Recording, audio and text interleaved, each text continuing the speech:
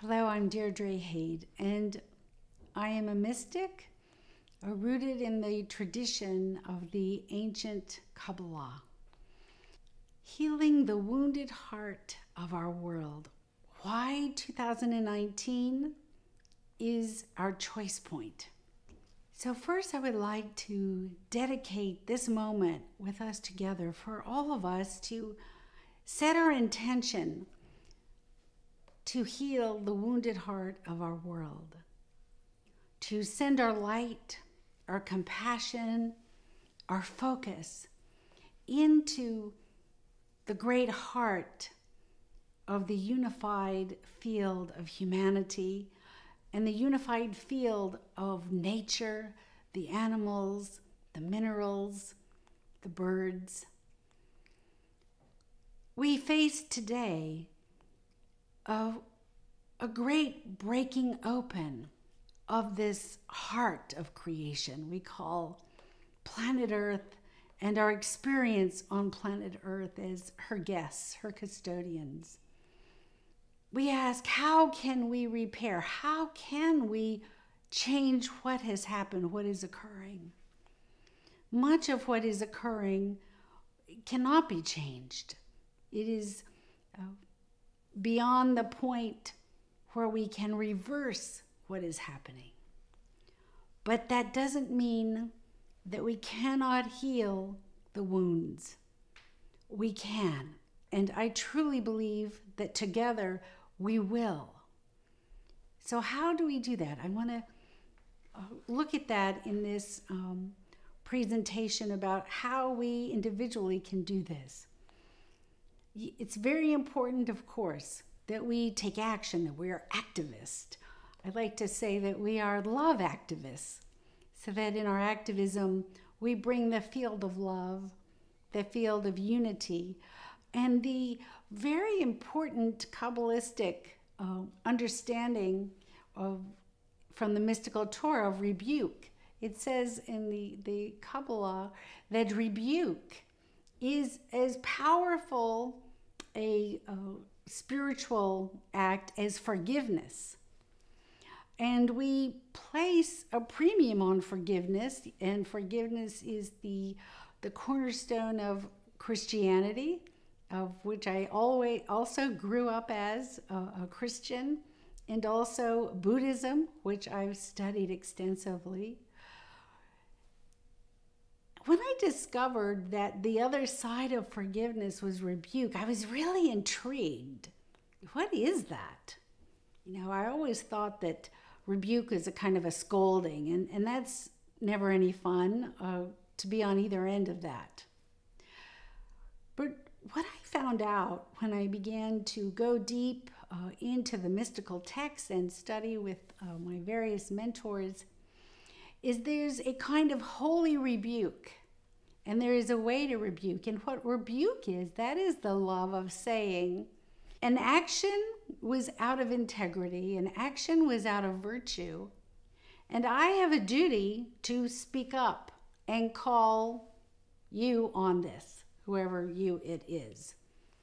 Even myself, I have a duty to say, Deirdre, what were you thinking? What were you doing? You were out of line. Now go take care of that. So that's really what rebuke is. So we, uh, as activists, we uh, are the voice of rebuke in saying um, no to things that are harming our planet and our world and each other. And we must stand up. We must stand up. We must speak out in order to bring our world back into harmony and to heal the, the great heart of creation. So, this holy rebuke is completely tied together like this with forgiveness. They go hand in hand. Because it is also said that one cannot forgive until there has been remorse or until there has been a repair of the misalignment to virtue and value and justice. once that happens, then the steps of forgiveness can come into play. And a union, a reuniting of opposing factions can come to one. We see this when, when two countries uh, finally have a peace agreement and then actually cohabitate. And when we, we all feel exalted when that happens. Uh, we haven't seen that right now, but um, for those of you who've lived long enough, at least in my life, I've seen this happen a few times where there is this great sense that all is well because a, a wall went down. So we uh, we brought a wall down uh, between uh, Europe and uh, the the um, Berlin and Russia. We brought a wall down. Um, and now, of course, we're trying to bring a wall up, but I feel that we can not have the wall go up so it doesn't even need to come down. And when we see with that kind of vision, that's being a metaphor, the wall, we are operating in another very spiritual path uh, from the mystical teachings called tikkun, and that means to repair. So we each have a tikkun, a life purpose to repair something. You usually know what your tikkun is because it's a pattern that will show up in your life over and over, whether it's in a relationship or in work, or it's just a pattern. And after a while, you go, you know, I keep doing it, this keeps happening to me. Then you know, I have something to repair. It doesn't mean, oh, I'm bad. It means, oh, I have something to repair. And when this repair is a really big something. We call that tikkun olam, and tikkun olam is one's life purpose to repair. And part of repair is holy rebuke. And when repair occurs, then forgiveness, which means to let go. The Hebrew word for forgiveness actually translated means to let go of then we can let go of. So there are steps to healing. There are mystical spiritual steps that are very practical. These are practical steps. They're not steps that are off in a transcendent state. They're steps that we take right here, right now, with each other. So, healing the wounded heart of our world that's a pretty, pretty big uh, desire, isn't it? A pretty big dream. But it's a dream that we can each do individually. Because we are in a unified field, that the one are many and many are one. Whatever you heal in yourself, whatever repair occurs in your life, in your relationships, in with the people directly around you, in your community. That is a union, a reunion between the light and the dark, what's good and what's not good, the tear, the, the split of duality in our world. When you heal and repair any place in yourself where you say you're intolerant or you're judgmental or you're prejudiced or any of the things that make us human, we all have them, I have them too.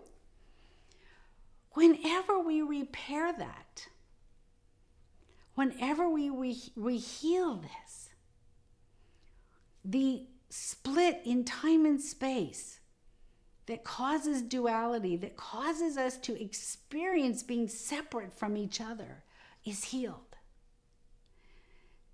So when our wound is healed, the perception of reality shifts. Perception of reality comes from the brain. The brain is what creates our perception, and science has proven this. From the mystic, what our brain imagines and dreams, we create. So, in our healing, we are the projector. You are creating into this field of perception a seed, a possibility for global healing. I don't know if you've noticed this, but over history, there's been a fire here and then we put it out. Yay. Oh, a fire over there. We go there. Oh no, we put it out. Yay. A war here. Oh, great. There's peace. Oh no, but now there's a war over there. It's like the split or the the confusion, the chaos, that which causes evil. It just jumps around. It just changes location. So it, it's not really coming to an end. It is just shifting where it's expressing itself. Because everything is energy, every feeling, every thought, every intention, every action created. We are, uh, what's the word? We are regurgitating energy. We're just taking energy and we're putting it here or we're putting it there. The real key, the real key right now is that we take the energy and we don't just move it over there. We actually clean house. We actually clean it up wash it up, scrub it, give it a bath, maybe a bubble bath, something. And we just, ah, then now the energy is in order and harmony. So, what happens mystically? What is that sacred alchemy that when we have a, a negativity, a heartbreak, a loss, a betrayal, you know, how do we take that and turn that into a positive energy? And what happens to the negative energy? Because energy doesn't go anywhere, right? There is a way to take negative energy and to transform it into energy of balance. Now, notice I didn't say positive energy because this is the world of opposites. I said a energy of balance because negative energy is really a balancer. And in this world, in order to have peace, in order to heal, we must balance these polarities.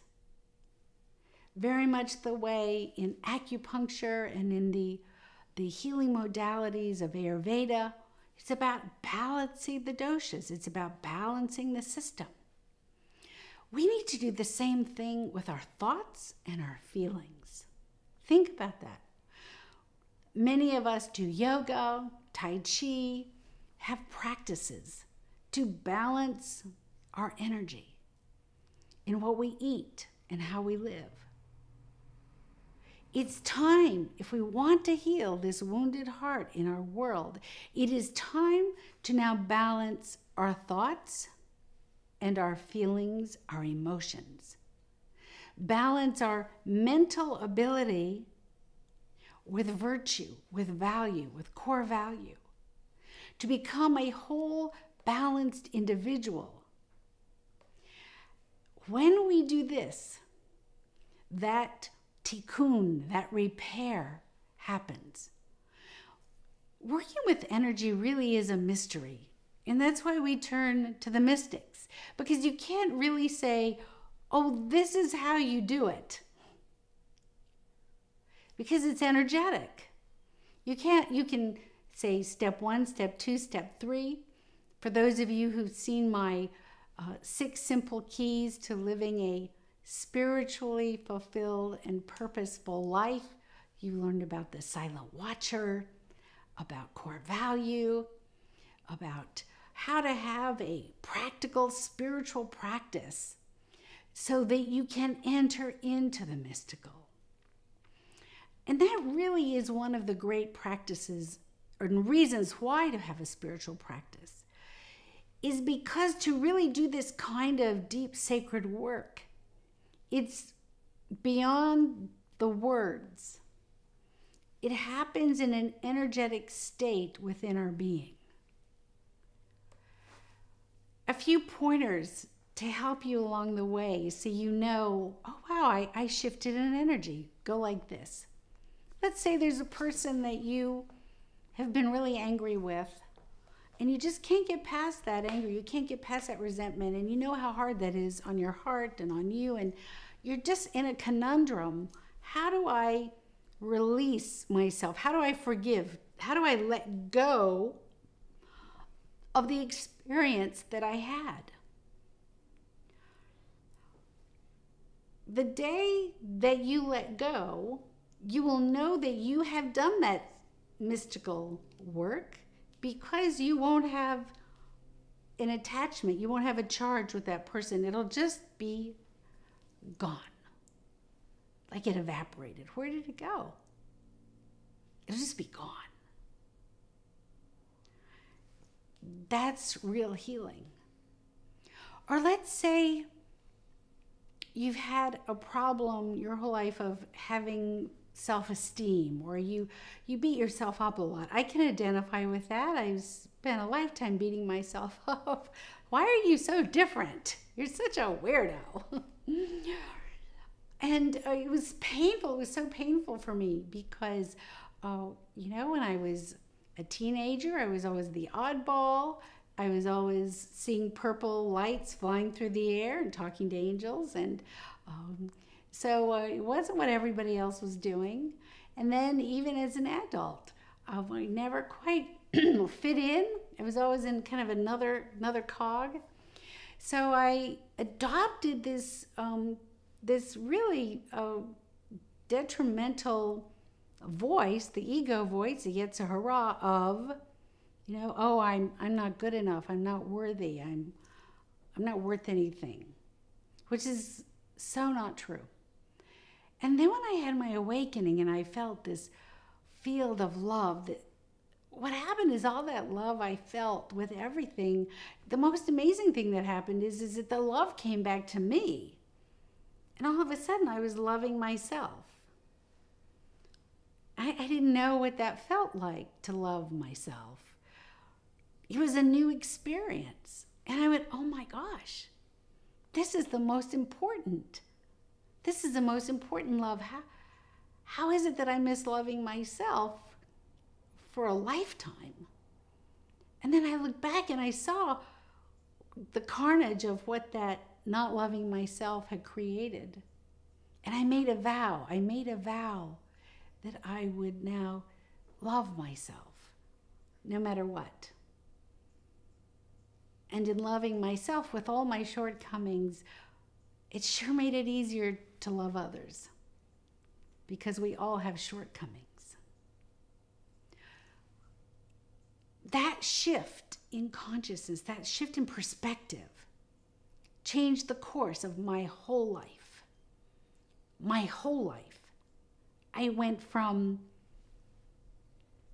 penniless, single mother, not knowing what to do, to an abundant life of financial abundance, abundance of love. Uh, my children, a healing, a healing in the family. And just one dream after another just started to happen. I mean, it, it just happened because I had this love for myself.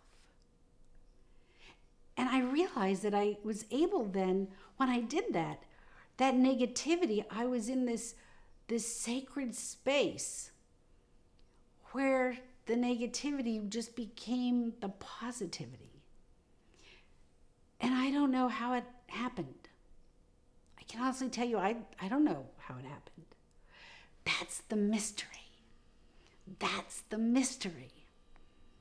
And that's why connecting with the mystery is what really ultimately is going to heal the wounded heart of our world. We are on a precipice now. We are at a choice point where what we choose this year, 2019, it's going to determine the gift of 2020. What that gift looks like. So there's a few things, there's a few things I want you to join me in doing because it really will work. The first thing is is to say I love myself.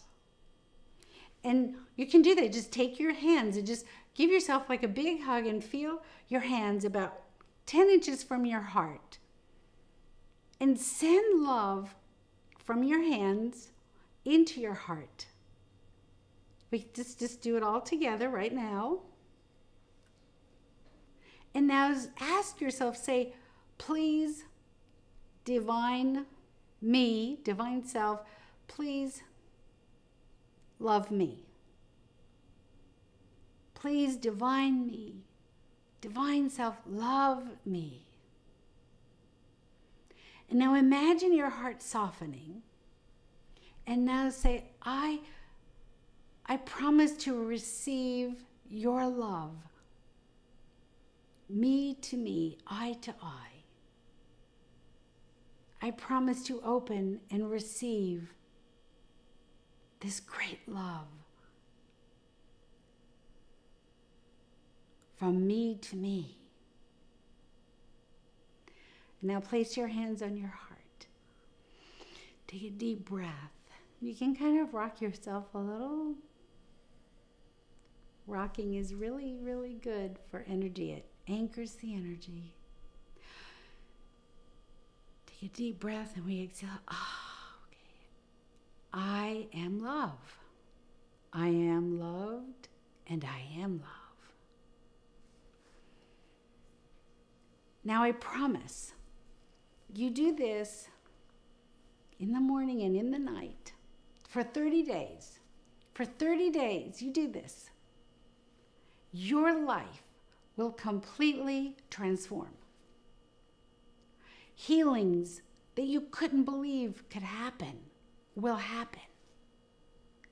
Your perception, the, the great, oh, I want to say projector of our brain, is going to start projecting a new image. And you're going to see it and you're going to experience it. And if enough of us can do this, we can heal the wounded heart of our world. And we can lay the foundation of receiving the gift of 2020, which is on its way. For I have been told by the great archangels and the ascended masters that they are coming and that they are here. Many of you have already begun to see them. Pilots are seeing lights flying through the sky. Photographers are taking pictures of strange creations of light in snow particles. People are taking pictures of flashing lights in the desert.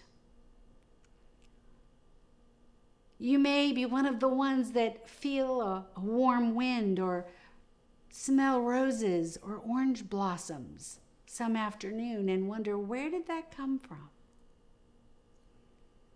Well, I'm telling you, from those divine beings. Because they are coming. They are coming to help us, to assist us. But just as I talked about how my life really was in a very sorrowful state for a many, many, many years because I didn't even know how to love myself. I didn't even know it was okay to love myself. I was like, oh no, you're supposed to love other people. But I never got, oh right, that includes me, I'm a people. And then the day that I went into this great unified field of love, the oneness of all that is, and this love came whoosh, pushing back into me. And I went, oh, oh my, I have to, lo- I have to love myself, not just God, not just a present. I have to love myself. That's when my life changed. So, in order for the gift, these magnificent beings, our brothers and sisters, our ancestors of light, in order for them to bring the miracles they're here to bring, we must receive them because they are such great love. And until you can receive love from yourself, you cannot receive love from anything else or anyone else. Think about that. Until you can receive love from yourself to yourself, no matter how much love is in your world, you won't fully receive it. You won't know how. Because the first love, the first relationship to thine own self be true. I am that I am. I art thou and thou art I. This is these are all mantras for I love myself, therefore I am. I love myself so much, I chose to come to earth and play and be of service. I love myself so much that I am whole and complete, and therefore I have so much abundance of love to give. I'm not empty. I love myself so much that I am free no matter what anyone says or what is happening in the outside world. That can never take away my freedom because I know myself. And I know myself because I love myself. So thank you. Thank you for being with me today. And may we all greet the world with oh, a big hug around ourselves. No, thank you.